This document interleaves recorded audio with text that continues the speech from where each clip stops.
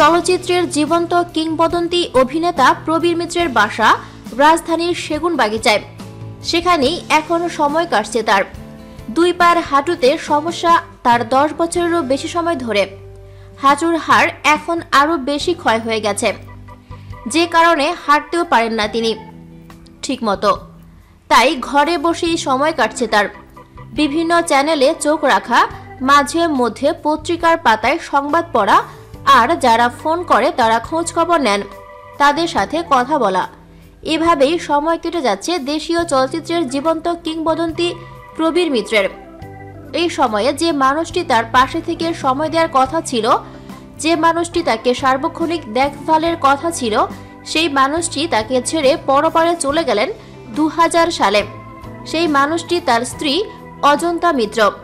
স্ত্রীকে হারানোর শোক বয়ে বেড়ান আজও প্রবীর মিত্র। কিন্তু তারপরও আরও এক শোকের মুখোমুখি হতে হয় তাকে। তার ছোট ছেলে আকাশ দু হাজার বারো সালে মারা যায়।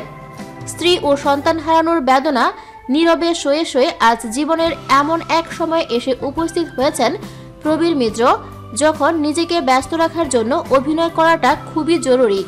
তবে দুই হাঁটুতে সমস্যা দেখা দেয়, ঘরের মধ্যেই সময় কাটতে হচ্ছে তাকে।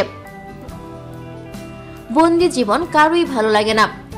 জেলের ভেতরে বন্দি জীবন সেটা অন্য কথা। কিন্তু নিজ গৃহে বন্দি জীবন এ এক নিদারুণ কষ্টের বিষয়, বললেন প্রবীর মিত্র। এখনও অভিনয়ে আগ্রহ আছে আপনার? প্রশ্ন শুনে একটু মন খারাপ হলো তার। একটু থেমে প্রবীর মিত্র বললেন, অভিনয়টাই তো পারি, এর বাইরে তো আর কিছু পারি না।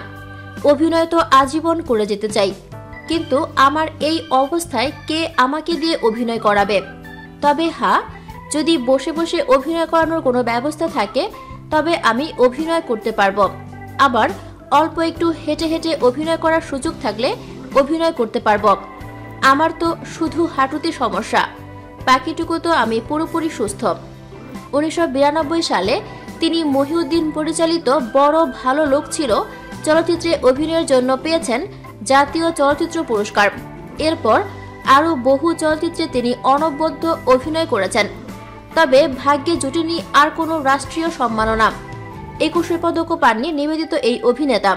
তবে পেয়েছেন প্রযোজক সমিতি অ্যাওয়ার্ড, জহির রায়হান চলচ্চিত্র পুরস্কার, বঙ্গবন্ধু সাংস্কৃতিক জোট সম্মাননা, মাদার তেরেসা স্মৃতি পদক দু হাজার সতেরো, জাগো বাংলা সম্মাননা আমরা কুড়ি সম্মাননা, মহানগরী অ্যাওয়ার্ড দর্শক forum award, Dhaka cultural reporters unity awards সহ আরও বহু সম্মাননা।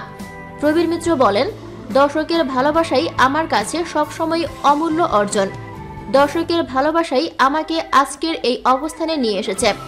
এই ভালোবাসার মাঝেই বেঁচে থাকতে চাই আমি।